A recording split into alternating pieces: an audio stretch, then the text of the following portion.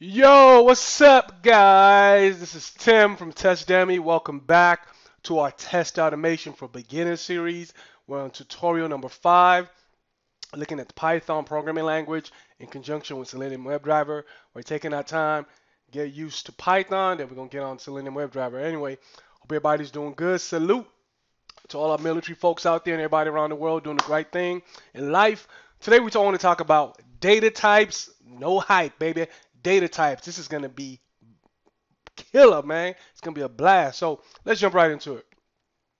So what I want to show you guys here, again, if you haven't subscribed to the video, please, I want to encourage you, subscribe here at testdemy.com. Check out tutorial video number one through four so you can catch up. We're building these foundation building blocks, and it's imperative that you're a part of each and every video so you can actually get a good, thorough grounding and understanding to what's next. All right, let's go. So I'm going to bring up my PyCharm IDE here, and if you can notice, yeah, I created a new file. If you want to learn how to create a file, or Python uh, file, just go to, you know, right click on your folder, your Python package. In our case, we have TestDemy underscore TA, which stands for test automation. Right click, go to new, go down to where it says Python file, and just create your new file name. You just say new file, whatever you want to call it, right? Um, but a Python convention is you always want to make sure uh, your file names begin with a lowercase. And if you have uh, a, a, separate name, uh, two different uh, words. You don't want to have new under, new space file. You can just use the underscore uh, new file, um, things of that nature.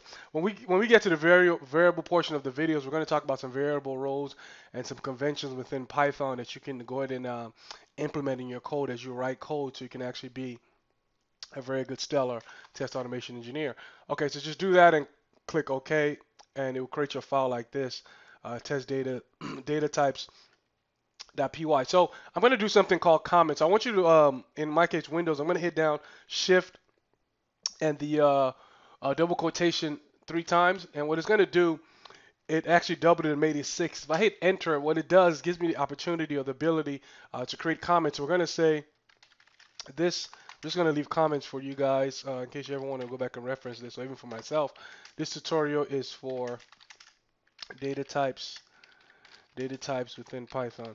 So the thing about these comments, uh, when Python interpreters run it, it's going to actually ignore uh, this comments field, okay? It's for data types within uh, Python, within Python, okay? All right, let's get our spelling right, okay? So what, what, what we're going to do here, uh, let's go back to our print command, right? So the first one we're going to do is we're going to say, I'm going to do a pound, and this is a uh, integer print type. So there are a variety of different uh, data types. One is called integer or whole numbers. So integer is like a whole number. And let's see here. It's going to be whole numbers. Uh, all right. All right. Integer whole numbers. All right. So let's do uh, print. And an example of a whole number, for example, is 1.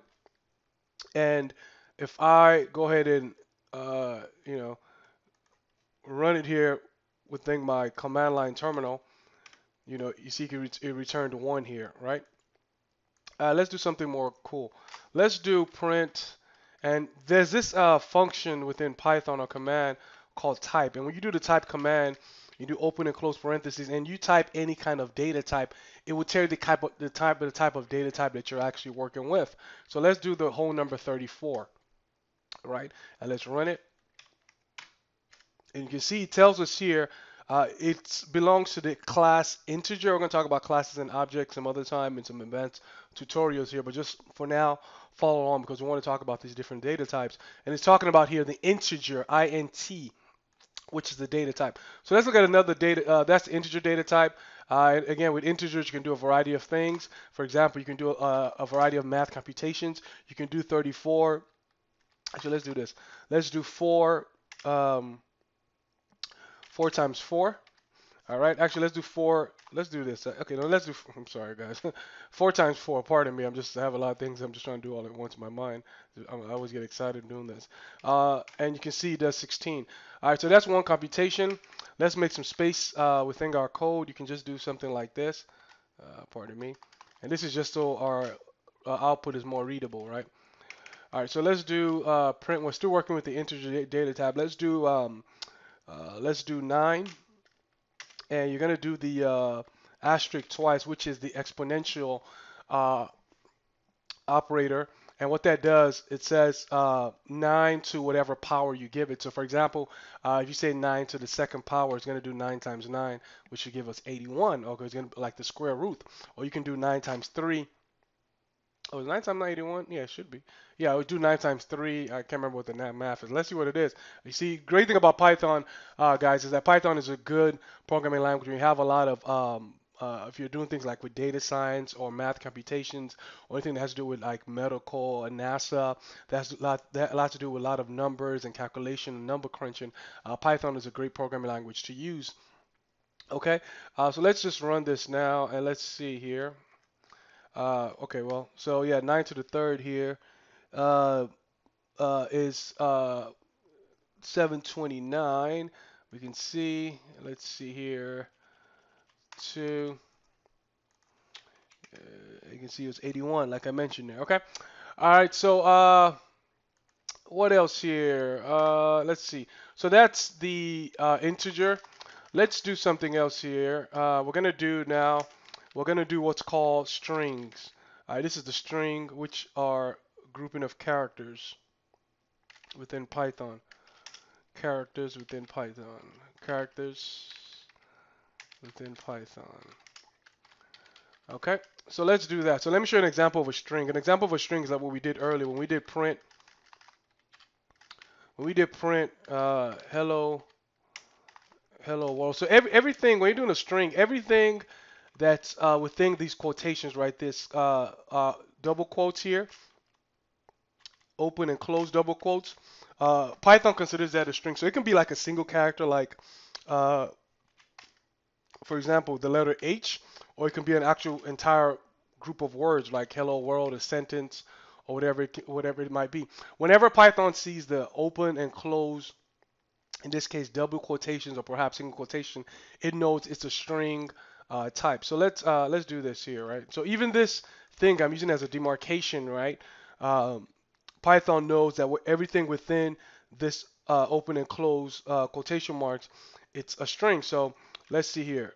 And if you notice, this prints uh, hello, hello world uh, as a string type. So I want you guys to practice this as much as you can, right? Let's go back to what we did earlier with um, the integer data type or the whole number. Let's type in a type, and let's type in, uh, let's see, let's put in hello hello world, right? And what it's gonna do, can you guess? Pause, pause the video. What, what do you think is gonna be returned here when we do print uh, put it within the parentheses, open and close type, open and close parentheses, and hello world within some quotation. What do you think the output is to be? Yes? Okay. Let's go ahead and jump into it. So the output is, right, you can see here class string, right? So that's a string class. And this is important to know because when we begin to build the building blocks and we get to the test automation part using Selenium, it's important that you know the different data types within Python. There's a string we've looked at. We looked at the integer. And now let's look at another one. And it's uh, other data type. Actually, before we jump into that, uh, let me show you one more thing, right? You can do double quotations like this, hello world, right? Or you can do just single quotations, right? You can do a single like this, hello world. And it's the same thing. All right, let me do this so we can see the demarcation. Uh, let's see, let's do hello world uh, with single quotes. Let me just type that in with single quotes.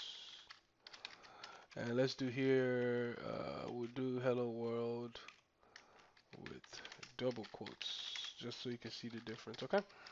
All right hope you guys are following along. Let me run my command. And you can see it here. Hello world with single quotes which correlates to this particular line of code and hello world with double quotes which correlates uh, with this line of code and again like I mentioned earlier guys if you guys are not used to uh, running with the terminal here go to view tools windows and go to terminal and it'll give you this output I'm doing it you can just actually um, run the code directly from the terminal here as opposed to um, right clicking and uh, doing run data types. For me, it's just more efficient. It's more professional uh, as an automation developer that you want to get to.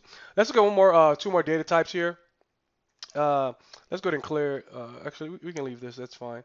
Let's look at another data type. Let me uh, copy this. and this again, this pound here is for telling Python to ignore everything that's in here, but it's a good uh, for our program because one good thing about coding is you have to keep in mind, everyone, is that programming is all about being able to read and write the language.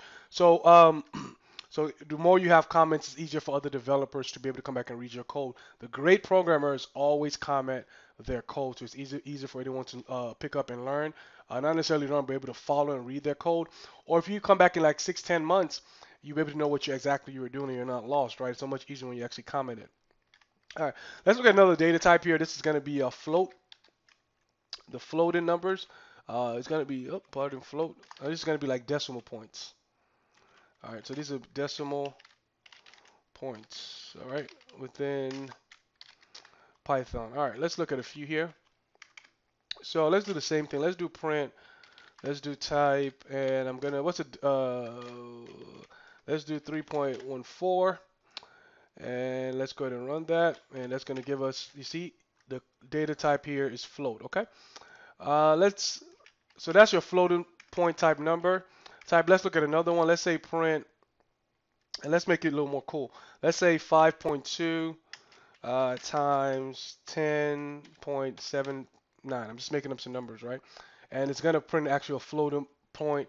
Um, we're computing the 5.2, which is considered this part of, uh, we're going to talk about expressions later, but 5.2 is the operand.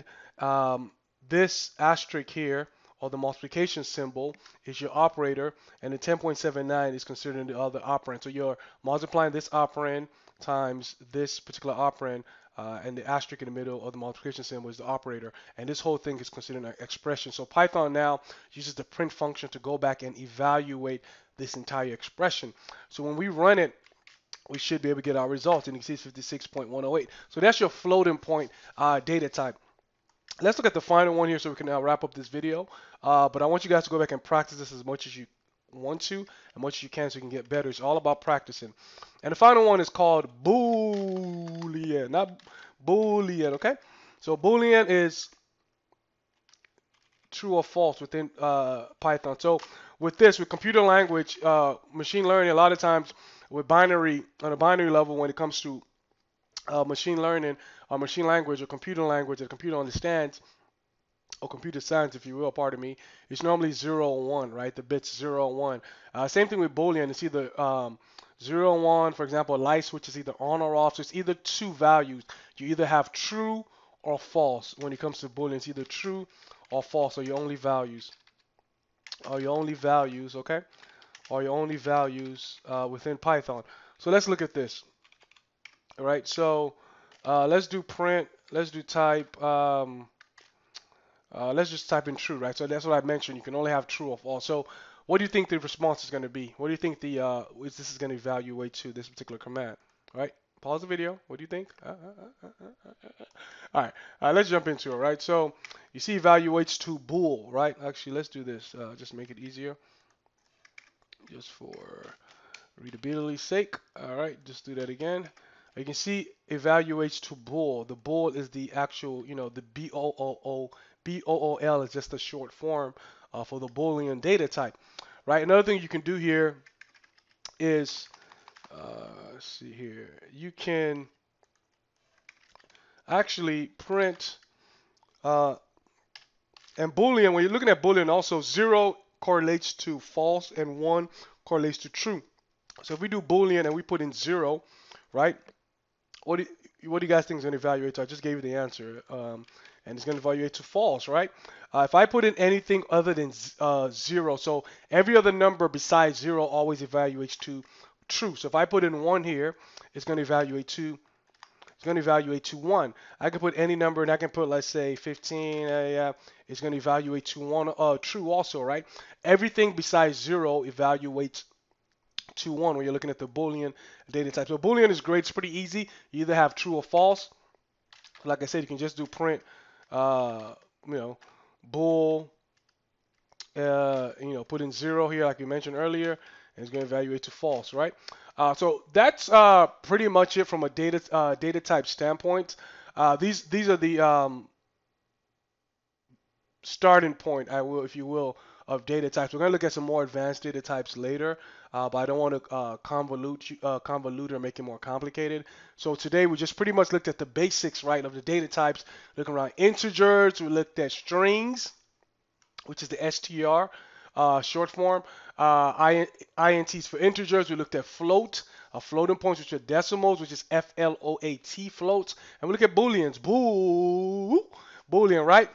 Which are either true or false. So practice, ladies and gentlemen, practice, practice, practice, get better, be the best, be great at what you do. And I will see you in the next video. Don't forget to subscribe. Peace, peace, peace. See you soon. Holla.